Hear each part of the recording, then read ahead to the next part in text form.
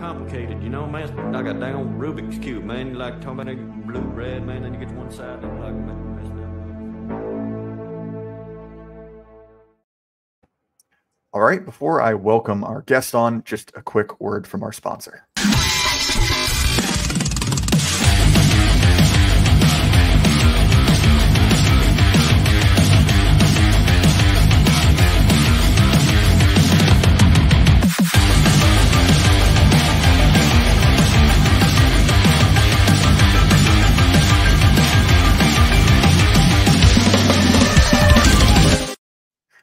Right, CJ Engel, welcome back to the J. Burden Show. How are you doing, man? I'm doing good. Thanks for having me. Yeah, I, I greatly enjoyed our last conversation. And this is sort of a, a follow on conversation from one you had with, with Pete Quinones about the Mhm. concept of rights. I think this is an important conversation to have because oftentimes you hear you know both the the language of conservatives and sort of the the thrusts of the DEI, you know, woke regime couched in terms of rights. And while they're both sort of speaking in the same terms, it's very obvious that these these visions are completely and totally incompatible. And I think, you know, yourself and and me and some some other people have sort of, you know, started poking at this issue of, you know, i i do we need to speak in terms of rights? Like, is that a useful frame anymore? Mm. And so uh, I- I'm curious, right? Maybe it's it's best to start with some history. Where, where do we see the genesis of this term rights in a political sense, and how does that change and evolve over time? Yeah, you know, it's um, it's interesting because you know we're going to talk about the fact that the the left uses the rhetoric and framing of rights to achieve their political endeavors, to, achieve, to achieve their political objectives. But they've been doing that for a long time. You know, in the 1930s, excuse me, you had FDR. You know, his entire you know political um, agenda was couched in his four freedoms, right? So he had these. They always speak in terms of liberty and freedom and things like that. And um, Aristotle, I think, had the phrase "the revolution within the word." So you keep the, um, you know, the the vocabulary, the rhetorical framing, the the paradigm, the way that we use vocabulary to express ourselves politically. They use that, and they can revolutionize the entire system. But still, the people are using the same words that they're used to, and that's a very powerful mechanism of achieving political uh, uh, objectives. If you're a revolutionary, which you know FDR was one of the key pinpoints of the managerial revolution in America, and he completely transformed American socio-political life. And he did so while using historically laden uh, language. You know, so this is this is something that the left does, and it'd be interesting to get more into that. Uh, in the 1930s, and also how it transpired in the 1960s, and of course we're seeing it today. But rights has been part of our language, our political language in the West since you know at least the Magna Carta in the 13th century. So we've always used the rights of of a given people. You know, we we speak in terms of there's this dynamic between um, individuals or groups or uh, you know interest groups and the state or the you know the the dynamic between the state and the church so rights is is part of that long and deep history so it's not like rights is some new 20th century thing that we um, have have only now uh, you know come to realize is helpful to us or something. This is this is part of our deep history and in in order to properly think about rights we need to understand the fact that it is part of our soul. But the very fact that it's part of our political soul makes us susceptible to putting our guards down whenever we hear that type of rhetoric. That's why the left is so uh, devious and, and cunning in the way that it uses language because it is part of our deep political memory as westerners to um, think positively about that type of rhetoric um, so rights has, has long been here. It's it's not a new thing. It's not an American thing. It's not a um, it's not a thing of modernity. It's it's it precedes modernity. I mean, rights. I mean, you. I mean, I don't. Rights have probably even been um, something that was talked about before the Magna Carta. Um, so it's it's like, what are rights? What to what extent should we use them? What do they mean? Um, what do they not mean? So these are things that we have to talk about but we have we have rights as part of our our western heritage. I mean that's that's a key aspect to rethinking uh, rights and the role that it's going to have in political activity. So I think one of the the most interesting questions when we talk about rights is where do these these privileges derive from? You know, when you read the American the American founders, they're calling back to a some sort of tradition. Right. right? There are sort of rights granted to, to English people. The king was not fulfilling his end of the bargain. And mm-hmm. so the compact between the two is is null and void. Right. right? It's why when, when we talk about the American Revolution, it's probably not particularly well characterized as a revolution. Right. Mm-hmm. This is not an upending of the social order per se. Mm-hmm. And one of the things that I thought was interesting enough that I, I wrote an article about it, even though it's been been quite a while, is you know this recent Second Amendment case mm-hmm. where uh, an Obama appointed judge basically said, you know, illegal immigrants to the U.S. do they are under Second Amendment protections. Mm-hmm. Me, that that is that represents a fundamental shift from the idea that you know rights are due to members of a civilization, members of a tradition. Mm-hmm. Right? You know, us as as English have always interacted with our king in such way. This is the sort of you know assumed rules of something versus rights are you know universal promises owed to all men. And mm-hmm. to me, I think that that's a, a fundamental difference in scope. Do you see what I'm getting at?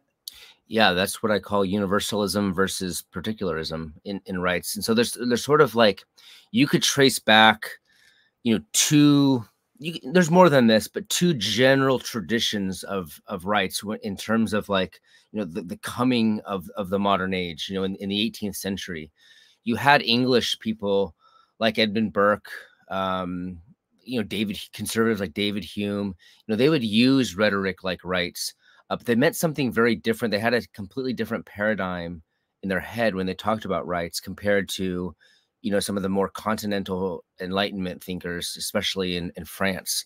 And so french french thinkers would emphasize the universality um, and, and, and there's this there's this model of man that he's separate from his own place his own heritage and that he is sort of man in the you know against the entire world.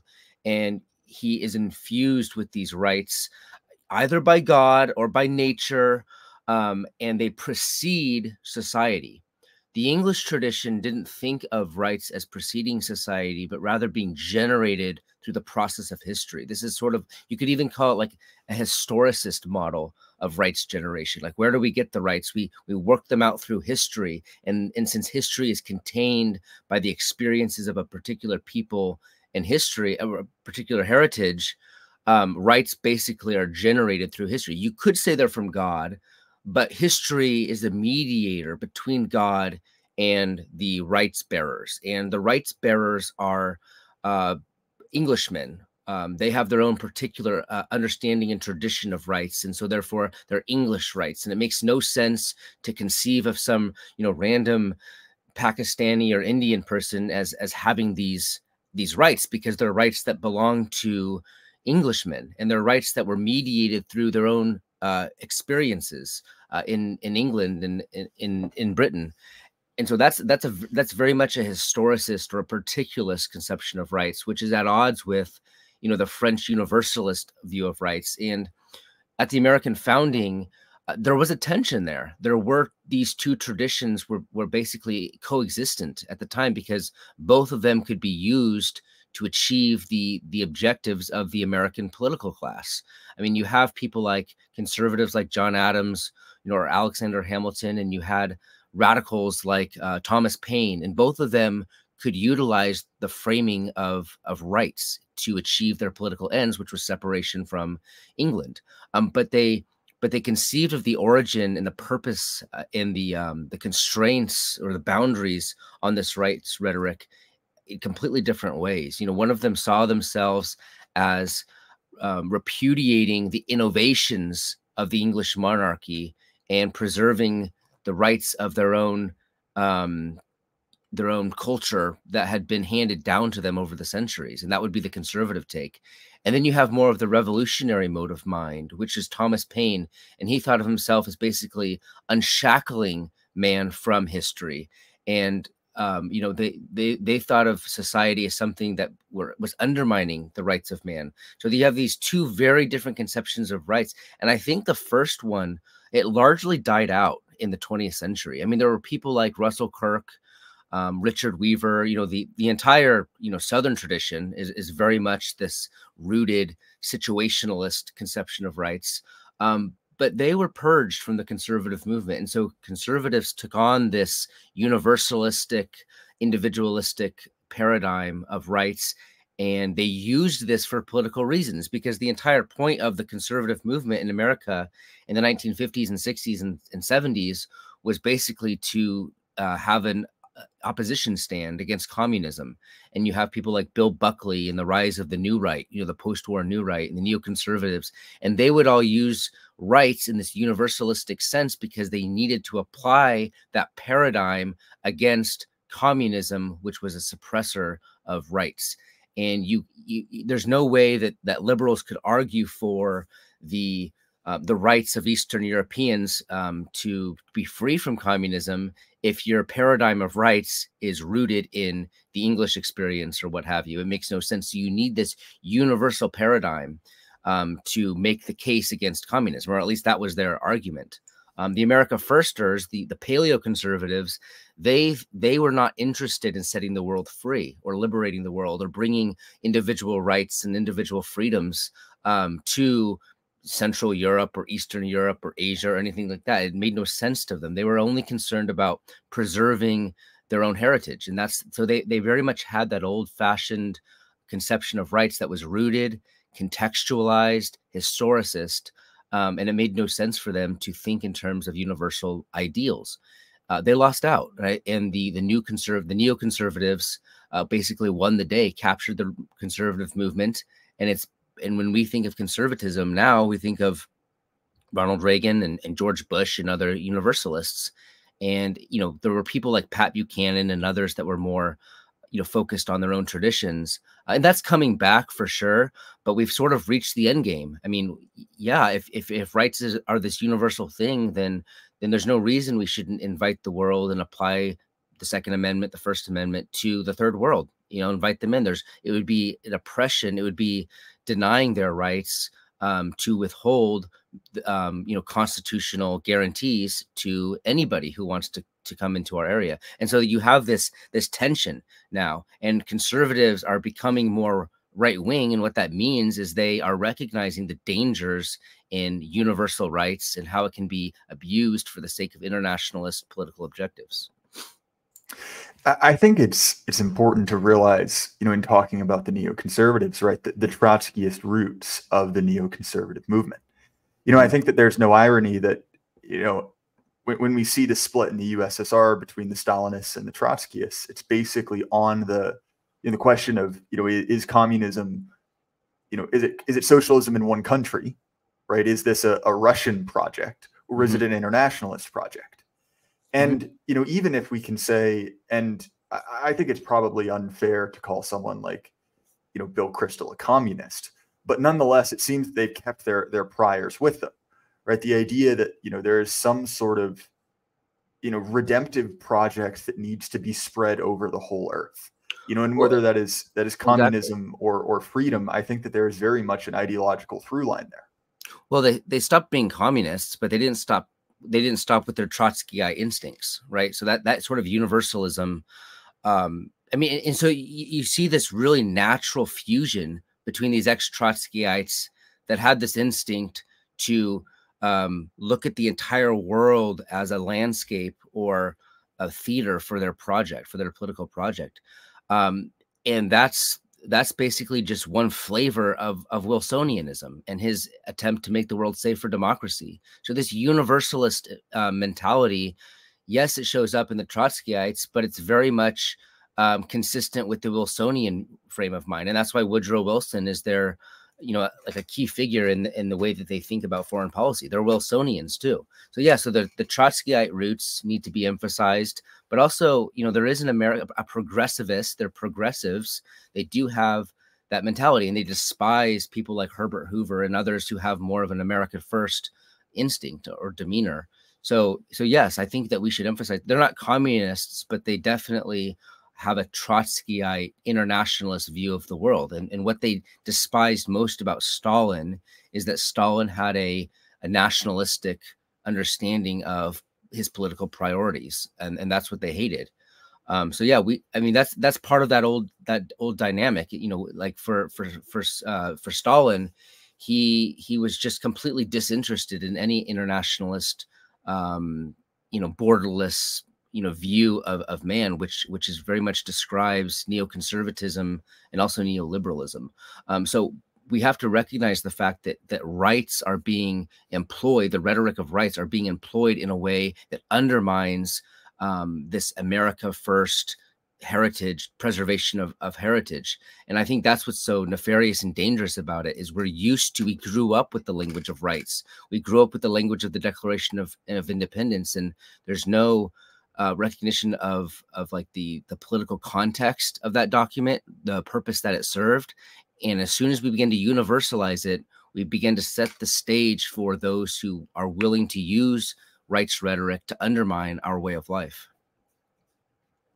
I think that it's it's no it's no shock that the same people that you know seek to extend you know, the rights and, and privileges traditionally associated with you know American citizens have also desired to extend American citizenship, either de jure or de facto, to you know infinite numbers of people. Right? You, you, you, it kind of rec- one recalls the the idea of you know one billion Americans, and so what is the relationship between rights and citizenship? Uh, particularly in in kind of a more historic sense, and then how has that relationship evolved? Yeah, so I do think that there was a tie between the citizen and the rights, and, and rights did not precede citizenship, but actually followed citizenship. In other words, rights are something that people get when they belong in a certain way to a political community.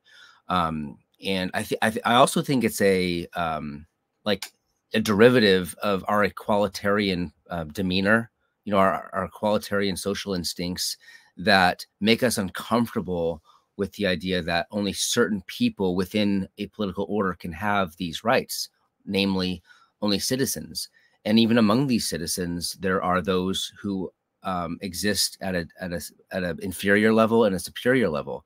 I mean fathers and and children. I mean there's there's an inferiority and superiority and, and nothing bothers the revolutionary internationalist spirit more than these sorts of um, inherited hierarchies.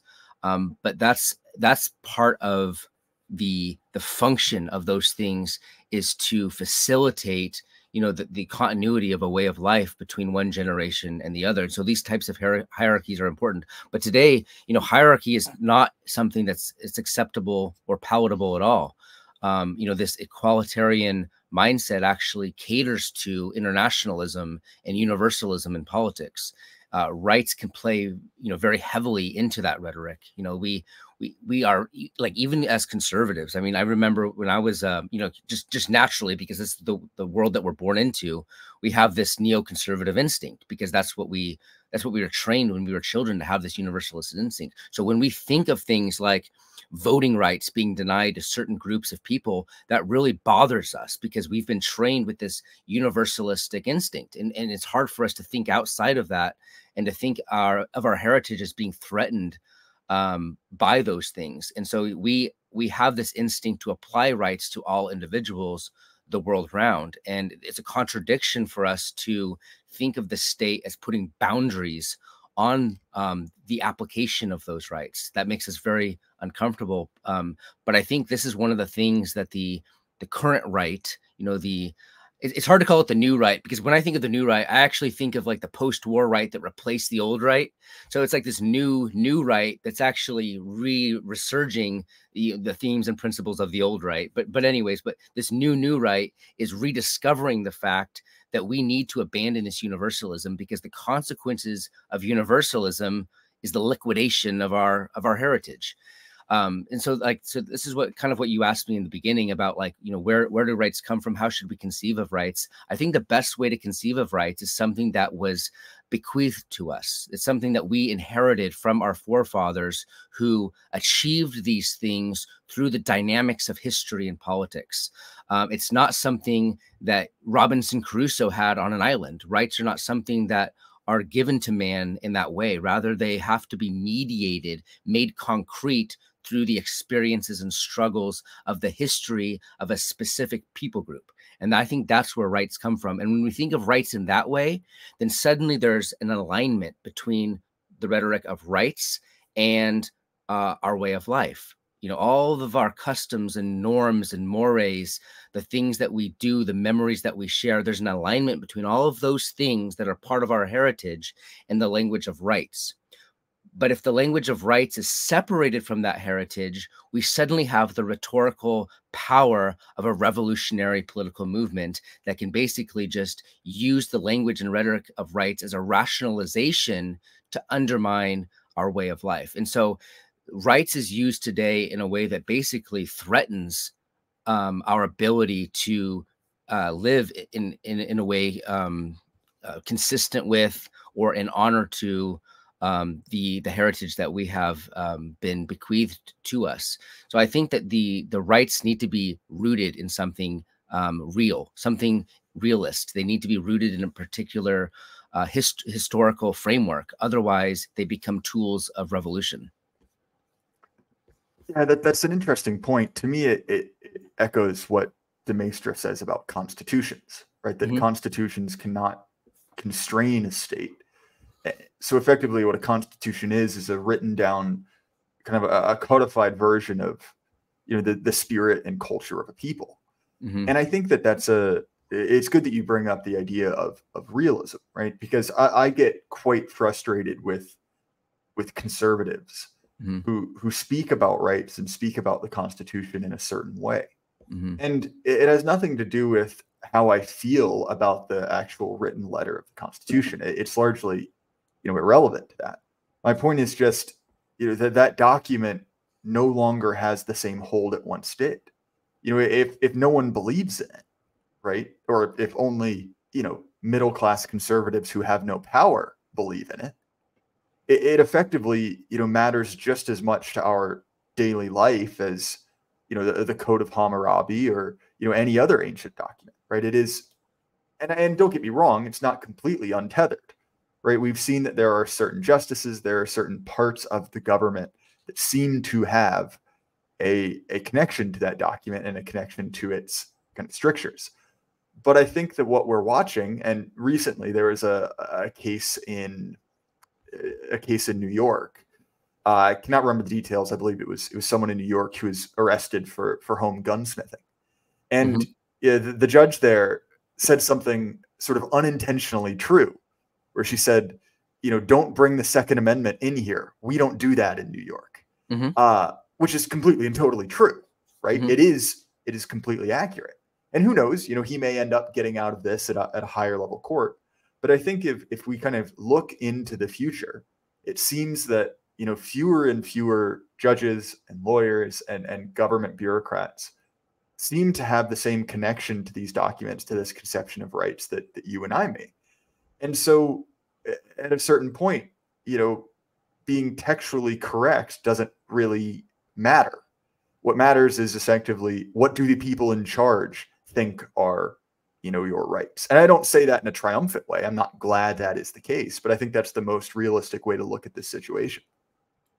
Yeah, when you bring up the Constitution, it's interesting because you know the, it's a it's it's a difficult topic. Um, the first thing I'll say is you know, on one hand, in the 18th century, the Constitution was very much a centralizing document. And I have more decentralized um, instincts. And so, you know, I can call it something that was um, dangerous, you know, like Patrick Henry smelled a rat and seemed to be right.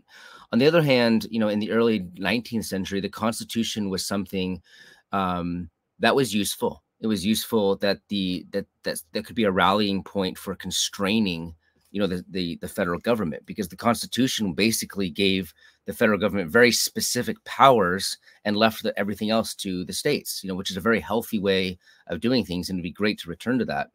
The fact of the matter is, uh, in the late 19th century and the 20th century, the Constitution was completely destroyed. It's decimated, doesn't exist. The Constitution is a formality, and it's already been undermined at every single, you know, every, at every single angle, every single layer, every single, you know, at, in every institution in the American managerial bureaucratic apparatus, the Constitution is a dead letter. It doesn't exist. But the function of the Constitution today politically is is for the the left which owns the institutions it allows the left to suppress and and put a chain on its would-be opponents because its would-be opponents are so principled that they refuse to um, contradict the, the constitution at all. At the same time while the the establishment uh you know just doesn't care about it doesn't care about the constitution doesn't care about the restraints doesn't care to limit itself and so it's this it's this really um, fascinating dynamic where those who believe in the constitution bind themselves to it and those who hate the constitution uh, you know put those chains on its would-be opponents and it's a very fascinating dynamic because um, it allows the left to basically continue on in its own march uh, without any opposition at all. So the Constitution, I think, was a, a, fine thing at one point, but the fact of the matter, it doesn't exist, and the only purpose that it serves is to suppress the would-be um, opposition to the establishment. That's that's literally, I think, its function because Republicans will will constantly cite the the, the Constitution in a way that um, disallows their own action um, and does nothing to restrain the establishment and its agenda for for the United States of America. That's I think that's sort of the purpose of the Constitution. So, if in my opinion, if you like the Constitution and if you want to return to that, you have to first defeat the enemy. You have to first um, since the Constitution doesn't exist, you first have to establish political dominance and um, set up the the um, environment for us to uh, reapply the Constitution if that's even possible but things like constitutional law things like the the rule of law things like constitutional paradigms all of those things are actually downstream from politics. Politics has to be taken care of first. Once the friend enemy distinction has worked itself out then we can apply the constitution uh, in a helpful way. But if you have enemies that are running things um, it's I think it's kind of a fool's errand to focus all of your efforts on the Constitution and to focus none of your efforts on the wielding of power against those who hate your way of life. Well, and that that brings up you know Schmitt's conception of politics, right? That much in the same way that you know many of us were educated to view the Constitution as this sort of you know this magic limiting factor on the government right? You know, it, it's sort of like putting out a line of salt, right? A vampire can't cross it know the government can't cross the Constitution is sort of the story we're told. We're, we're so told a, a similar incorrect line about politics, right? We're presented this this conception of politics as a dialogue, as a marketplace between competing ideals.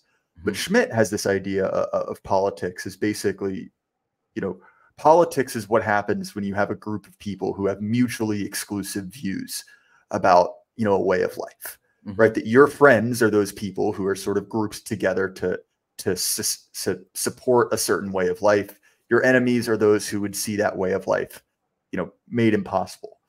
And I think that what we've seen is that obviously politics is, is sort of in the nature of man, right? You know, mm-hmm. Aristotle's definition of man is the political animal. Well, that's true. I think we also need to look at the the scope of what is considered fair game in American politics mm-hmm. ha- has grown to be effectively all consuming. You know, this mm-hmm. kind of like friend enemy distinction is apparent in any number of little signals, right? And so to call back to the incorrect kind of civics class training you received as, you know, to be a political actor in the American system.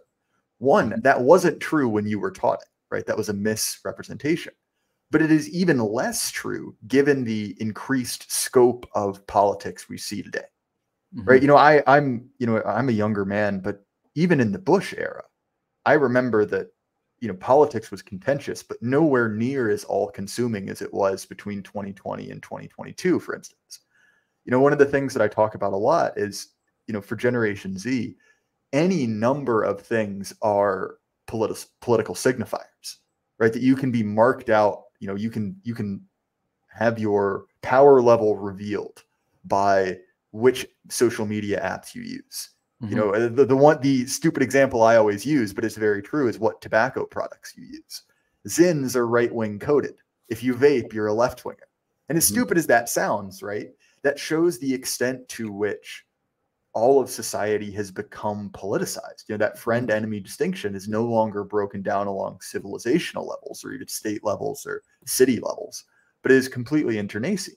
And mm-hmm. so to look at that as, oh, well, you know, even though, you know, the people to my left and the people to my right have fundamentally different ideas about, you know, the nature of a man, you know, where we derive truth from, kind of like the ultimate end of man.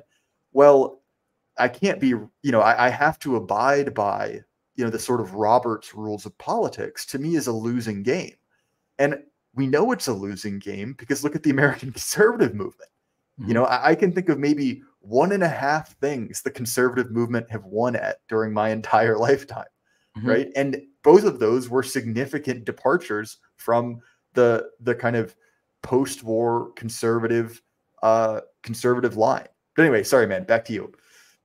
No, I, I, I agree with all that, and um, there's this idea that um, you know, like you bring up the the friend enemy distinction um, and and also the fact that uh, everything in in social cultural life is now political.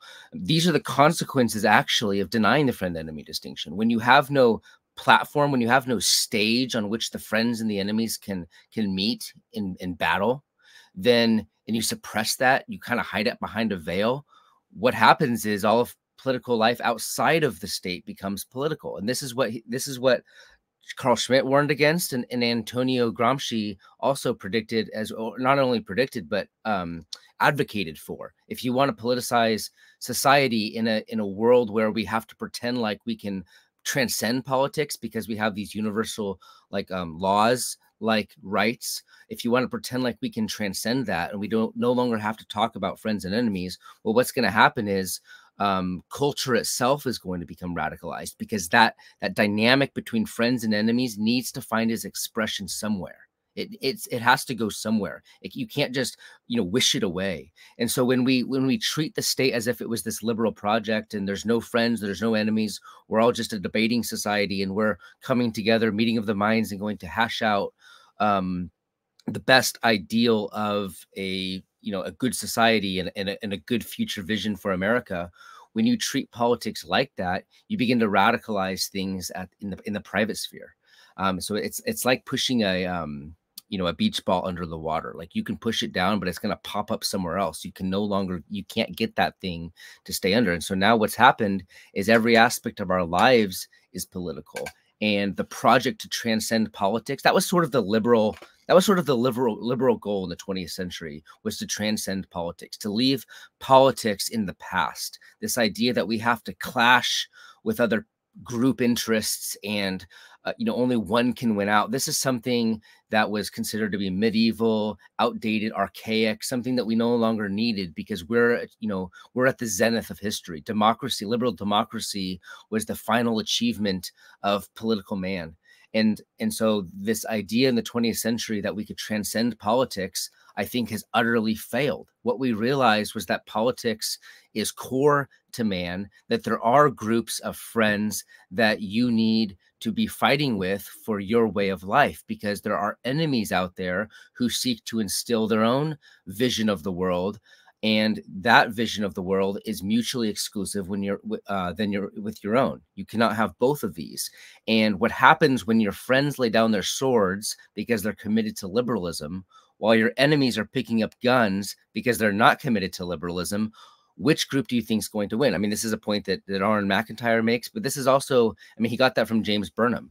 Uh, you know, he talked about the fact that that liberalism was basically he gave this analogy of a crab that was um, taking off its shell, and uh, when he took off his shell, he was no longer protected. He was completely, um, you know, naked before all of his en sea enemies on the ocean floor during that transition from one shell, and he could be basically devoured during that time. And that's what liberalism is. It's this. It's this taking off of our protective layer um, all the things that that were that you, that that were important for the protection of of Western political life was basically taken off in this grand quest toward a liberal society.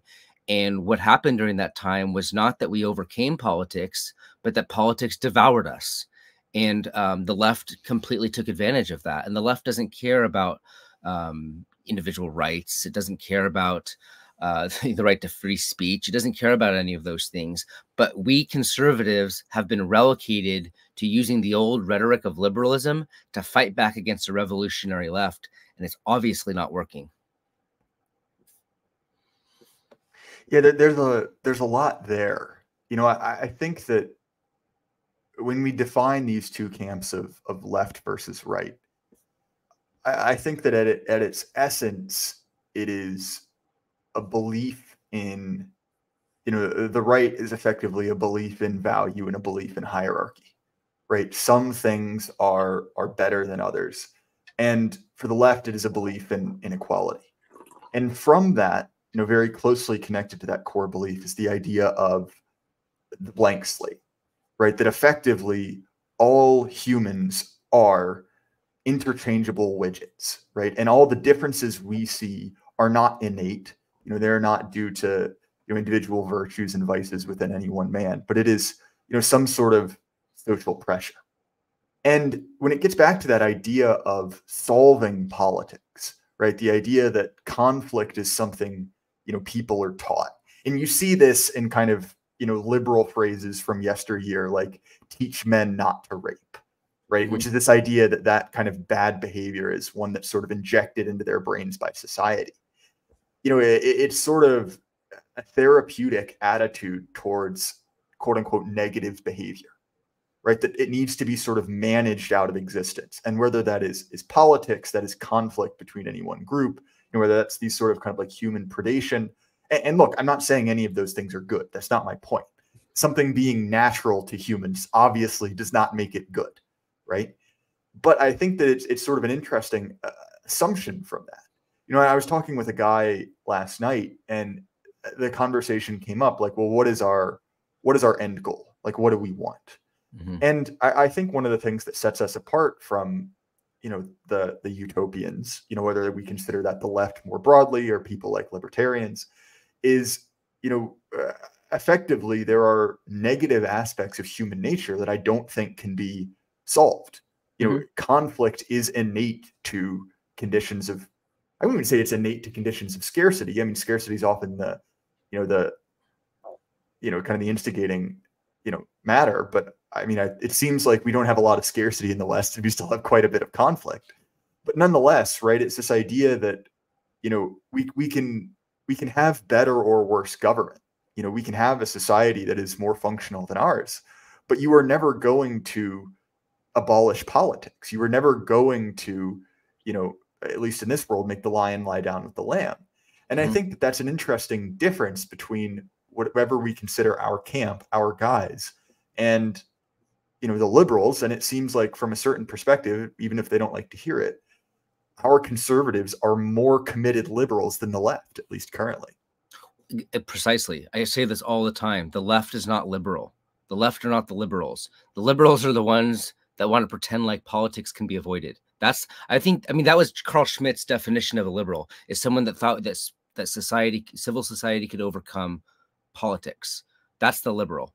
Um, the left are actually Schmittians. they understand that there is a dynamic between friends and enemies. Um, and they've they've I mean they're they're the left have become the masters at political strategy. So they've internalized and absorbed Carl Schmitt, this friend enemy distinction. And at the same time, they've um, they've convinced conservatives that Carl Schmitt should never be read or studied because he's a very dangerous, evil German man. And you're like, so you have this group of political actors that have absorbed the lessons of liberalism's greatest critic. And at the same time, that group of people that have absorbed Schmittian lessons, they're telling their opposition to not absorb those lessons. What do you think is going on there? the left is not liberals, but they have a very keen sense of the fact that it benefits them when their enemies are liberals. And so for for a century now, conservatives have been absorbing this liberalism, this assumption that we can avoid the friend enemy distinction and we can talk about politics um, or political, you know, civil concerns in the rhetoric of individual rights that are universal. We can talk about, um, you know, the the civil rights movement as something that um, is actually a very conservative thing. And you've got all of these brainwashed conservatives that have completely absorbed the rhetorical, the the, the tactical rhetorical um, you, the, the you know the tactics of, of the rhetorical revolution they've absorbed it all. The conservatives have completely eaten it up. They've become the new liberals and the essence of liberalism is laying down your swords. And so the left is convinced its opposition to lay down its swords in in the context of its own effort to capture the castle. And it's this it's just this fascinating image that i have of um you know the the people marching toward a castle convincing the the guards at the gate to basically just uh, you know unhinge the gate and just take it down because we're all friends now and it's like this complete trojan horse it's become this complete trick um, that conservatives are basically neutering themselves and neutralizing themselves um, for the sake of a rhetorical body of, of strategy that the left doesn't even buy for itself. I think it's fascinating, and it would be amusing if it wasn't so disastrous to to my people you know? I think that that, that brings up a, a, another point right which is that you know if you accept that you're in a conflict you know a, a, a political conflict you know why would you ask your enemy for advice? You know it's sort of asking the asking the fox to design the henhouse. Mm-hmm. and i think that that's a, that's an interesting dynamic we see in american conservatism. And I think that it is important to to say that one, American conservatism is not a contiguous tradition, right? You know that it's sort of, it, it, at least in my mind, it sort of springs out of. It sort of springs out of you know what we consider the old right, which was in opposition to FDR. You know, we we mentioned the sort of injection of neoconservatives. And while there is a sort of an alternate tradition that is very much on the right, we, we can kind of track a line from the paleo conservatives, you know, through the, the kind of Southern Jeffersonian tradition. That's not necessarily what I'm referring to. But nonetheless, you know, there is this sort of at, one time kind of hatred for the liberal establishment, and then also a, a, a sort of desperate desire for approval from them. And you see this in a lot of conservative media. So, for instance, right, uh, the Daily Wire produces movies. They had uh, Gina Carano, who is a WWE star, fired for her conservative views. They made a movie. And what do they do when you have a movie? Well, you have a red carpet, of course. Mm-hmm. And it's kind of a lame red carpet. You know, it's like the the my mom gave me a bowl cut version of it. but but nonetheless, it is sort of aping the the political forms of you know the liberal elite and the liberal establishment. And to yeah. me, I see this as a as a massive problem because again, much like you know we've talked about with looking for political strategy, if you were looking from for approval from your political opponents, the only time they will give that to you is if you are either bending the knee or doing something so positively stupid that you are handing victory to them. Exactly. And I think that's something we see oftentimes in in the evangelical world, right? Which is that there are people who are completely desperate for approval from regime sources you know bending over backwards throwing their their compatriots under the bus for being any one of you know the the, the kind of bingo card of, of ists and isms that are you know make you a social pariah and yeah sure they might get a little bit of, of praise you know they might get one article but that doesn't last and not mm-hmm. only does it not last not only is it not you know a, a worthwhile end goal but mm-hmm. it doesn't it doesn't accomplish the goal they think it will. Right? There's no moment that you will make yourself palatable enough that you will be able to sort of take over the you know the, the popularity of the the establishment right? They control all the cards. And so this attempt to sort of curry favor by making yourself amenable to them you know whether that is you know in a political sense a social sense a religious sense to me i see as a fool's errand. And again like many things you know we, we've seen this playbook run over and over and over again. And to me, one of the many reasons that I, I, spend so much time kind of trash talking American conservatives is not that they're bad people. They're good people. They're probably the best people in America. But it's just like, you know, it's Charlie Brown in the football. Like, mm-hmm. okay, the 10th time that Lucy's pulled the football away and you kind of cartwheel through the air and land on your back, don't get mad at me when I suggest maybe don't kick the football this time. You yeah. know, just just a just a thought. Yeah, and it's funny because they're they're they're doing that every time, and everyone's telling them see this is the Charlie Brown actually recognized that that she was doing that. Um, but when they get their paychecks, they think they're actually achieving something, right? So it's it's it's like it's it's Charlie Brown in the football, but they don't even realize that they're missing. You know, they think they're they're making achievements, and they think like like look at the way they they talk about the fact that you know how how hopeful they are. I have you know I I'm a uh, Spengler respecter, and I have the optimism is cowardice thing, you know, all over the place, and people make fun of me for it. But what I'm talking about is that that American conservative like mentality that just basically says that we're making like we're, we're actually making the world a better place. We're actually, you know, achieving our objectives and goals. It's like, no, you are not. You're losing, you're losing the war and you're you're facilitating that loss. Um, and so yeah, I I agree with you. I I get much more frustrated with establishment conservatives, so-called, um, because they're the ones that that could be they're the ones that could be in opposition um, but they refuse to to be that. And not only that but they purge anybody to their right. It, it's not only that they're not doing anything but anytime someone does anything you know good and decent or or i guess necessary would be a better word. If anyone does anything politically necessary to actually fight back um, the conservatives are the first ones at the door seeking to shut those people up. I mean, they the the conservative movement in America has a long history since uh, Buckley of purging those uh, would be um, opponents of the establishment of the regime and sort of making conservatism something that's palatable to the regime and making the regime something that's palatable to conservatives. And I think that's the function that the conservative movement plays. And just to bring the whole, you know, this whole uh, conversation back around, you know, the one of the most important ways it does that is by focusing on individual rights. Because if every individual has the right to to live in whatever way he wants to live and, and do all those things, well, what you actually have is subversion. You know, if you have no constraints or boundaries on the meaning of those rights, you have David French calling, uh, you know, gay marriage or transsexualism a blessing of liberty you know that's that's the end game of conservatism is you have to apply that rhetoric that you've religiously committed yourself to you have to apply it to the very same groups of people that are seeking to undermine the uh, heritage, you know, flyover legacy Americans that you as a conservative are supposed to be representing. Um, so that's, I mean, that's one of the main problems with them is is the left has managed to pit the conservative elite against the conservative base and the conservative base in America. Um, you know, Sam Francis was right about them. They still have the right instincts. They still have um, they still have the right demeanor. They still recognize the fact that the regime hates them, that the coastal elites elites want them liquidated. They understand those things. Sam Francis was right about flyover America. The problem is, is that the conservative movement is participating in their liquidation. They so so and that's what and that's exactly what Donald Trump is all about.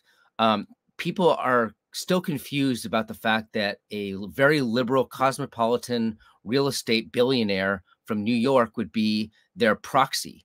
Um, and that's what he is, is a proxy because no one else stood up and defended them or was concerned about the, the, the leftist revolution. The conservatives completely sold out to the left, and so you have someone like Donald Trump who sort of stumbled and bumbled his way into the situation where he became a proxy of all of their discontent, all of their frustration over the fact that there is no opposition to the establishment in the West, and he was someone who basically the regime uh, despised. And whenever you have someone like that I think it appeals to those who have been forgotten and and left over um, since since the end of the of the Second World War.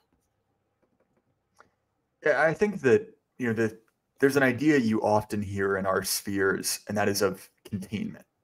And 90% of the time you hear the phrase containment, it is best practice to completely disregard anything that comes after it.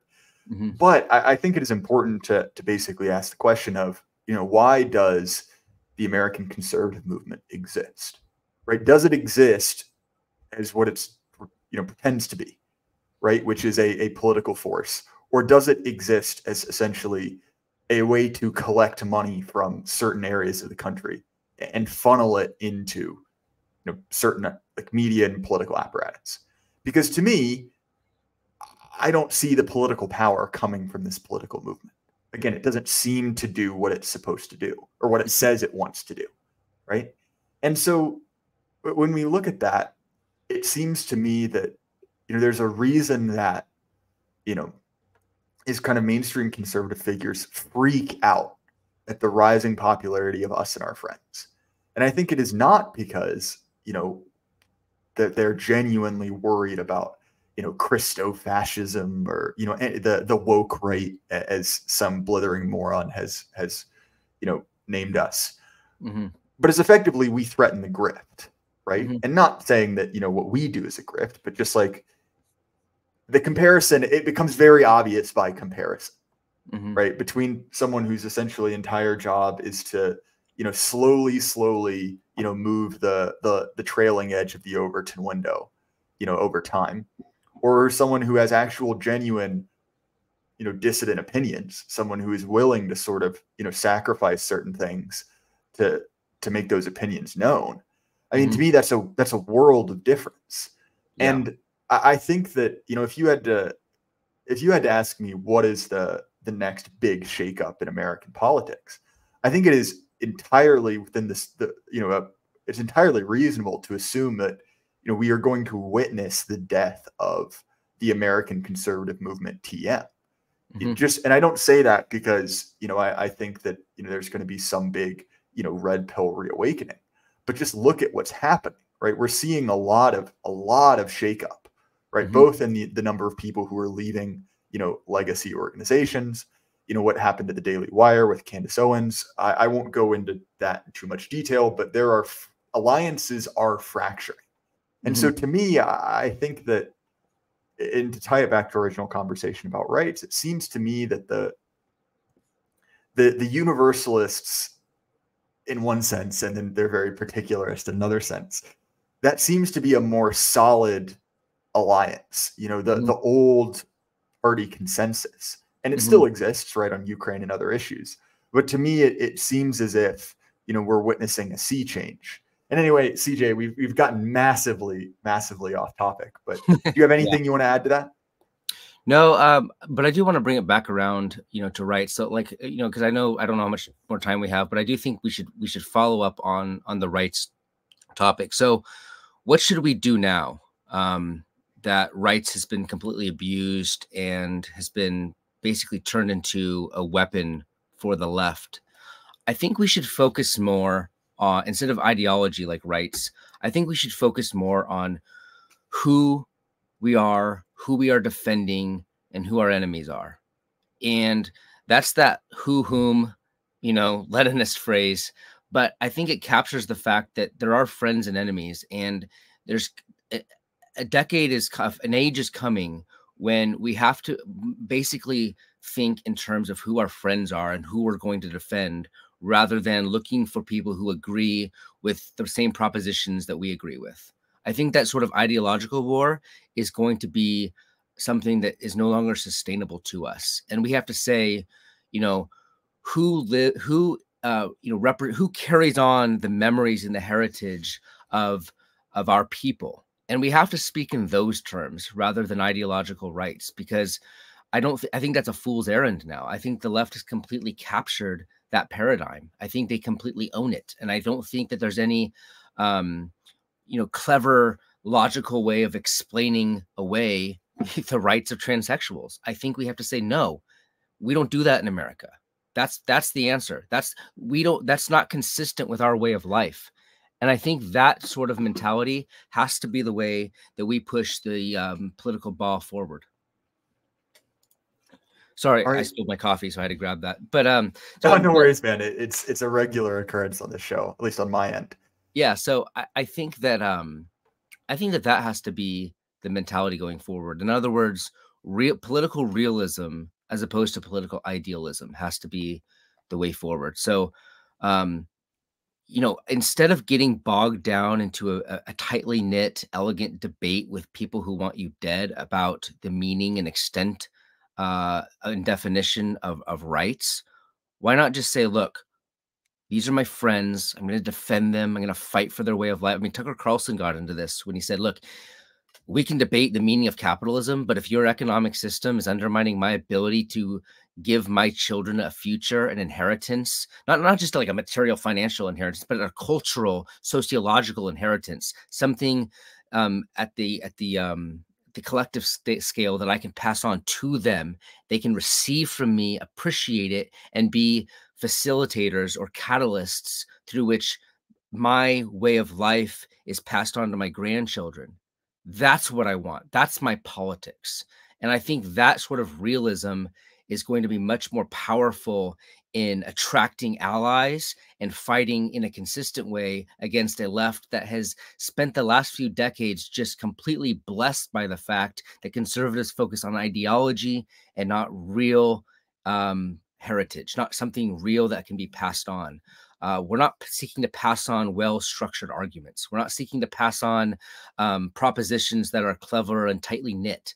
We're seeking to pass on our land, our memories, the symbols of our social uh, political life. Um, you know, the, these are these are the things that have meaning, and I think these are the things that we need to rally around. We need to rally around political realism and abandon political idealism, which just caters to the leftist revolution. So CJ, we are we are fast approaching time. If people want to find more of your work, what's the best way for them to do that? At Contra Mordor on Twitter. Um, and then I think you can just go to my name, cjayengel.com, and it leads to my Substack. Um, and make sure you you have Engel, E N G E L. Um, so yeah, you can find me on Substack. I probably write once every other week. Um, but I'm pretty active on on Twitter. Those are the best ways to find me. And I, I do host the Chronicles Magazine podcast too, so look that up on YouTube. Well, I highly recommend that. I think your show with Isker is is great. Some of the best uh, some of the best host chemistry on the internet. And uh, again, man, thank you so much for coming out. I appreciate it. Yeah, thank you. As far as my stuff, you can find the J. Burden Show on Apple, Spotify, YouTube, anywhere you listen to podcasts. I also have a Substack. I've started posting there more regularly again, hoping to get back into the swing of things. Uh, if you want to support us, Axios Remote Fitness and Coaching is the best way to do that. Uh, can't recommend it enough. And remember, everyone, keep your head up. The lie can't last forever. Good night.